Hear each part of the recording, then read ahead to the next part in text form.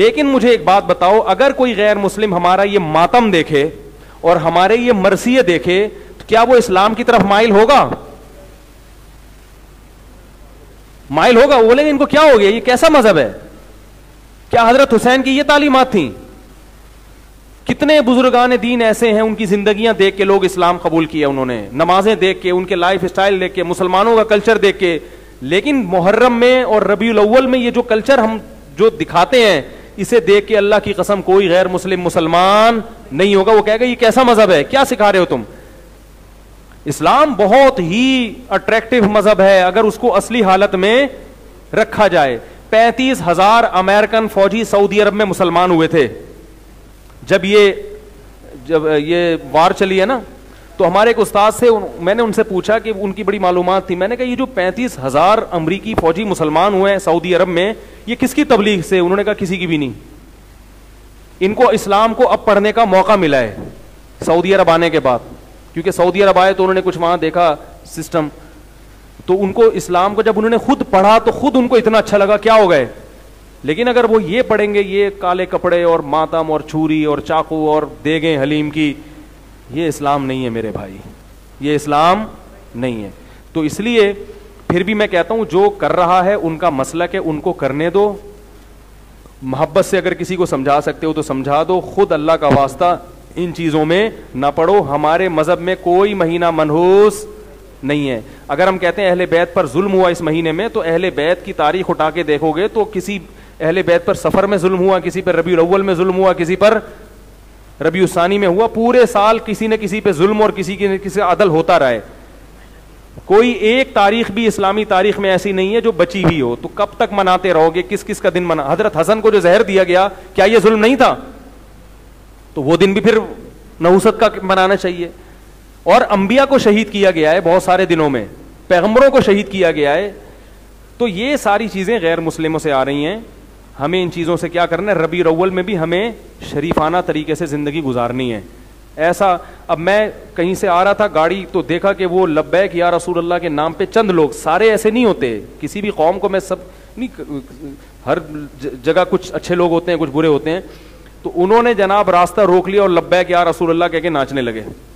وہ جو گاڑیاں، گاڑیوں میں پھنسی ہیں برے طریقے سے اس قدر کوفت ہوئی ہے ٹریفک، بغیر اطلاع کے جب ایسا کوئی ہوتا ہے تو ٹریفک کیا ہو گیا؟ پھنس گیا۔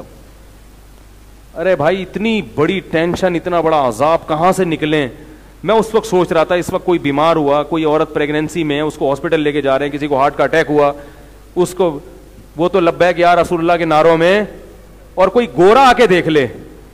وہ بولے، ہمارے یہاں تو ٹریفک جیم بھی ہوتا ہے تو ہم لائن سے نہیں ہٹتے، اور تمہارے یہاں نبی کے نام پہ جب چاہو روڈ بلاک کر کے کھڑے ہو جاؤ۔ تو اسلام تو میرے بھائی مینجمنٹ سکھاتا ہے۔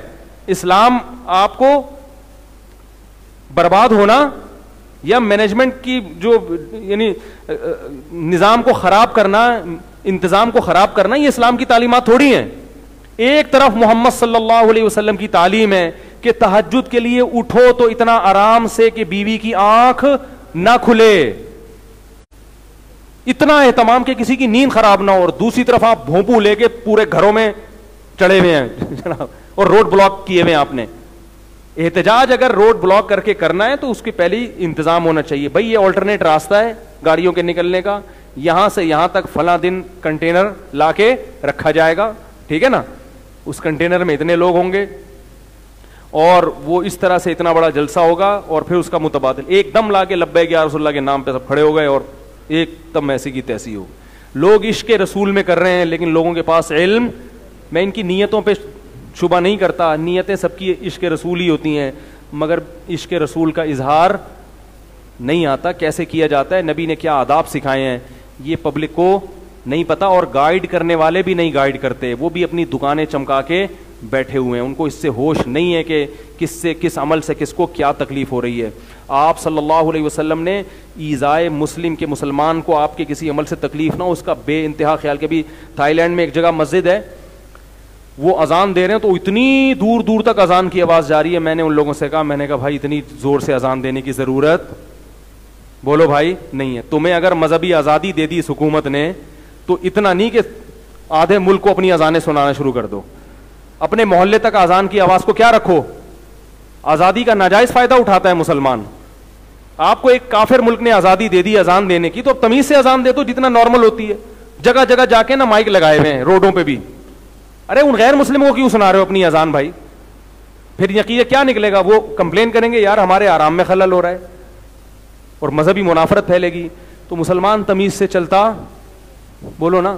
نہیں ہے۔ بس وہ سمجھتا ہے میں چونکہ اللہ کی کبریائی پورے ملک میں بیان کر رہا ہوں۔ ہے اللہ کی توحید میں نے پورے بینکاک میں بیان کر دی۔ تو اللہ نے کب کہا ہے کہ میری کبریائی اس طریقے سے بیان کرو کہ پھر کل تم تم پر پابندیاں لگیں۔ اور چائنا میں مذہبی آزادی بہت تھی، وہاں جل سے شروع کر دیے لوگوں نے۔ ان جلسوں سے روڈ بلاک ہونا شروع ہوئے۔ چائنیز گورنمنٹ نے کیا کر لگا دی؟ پابندی لگا دی۔ تمیز سے کوئی کام ہی نہیں ہوتا ہم لوگوں سے۔ اللہ تعالیٰ حفاظت فرمائے۔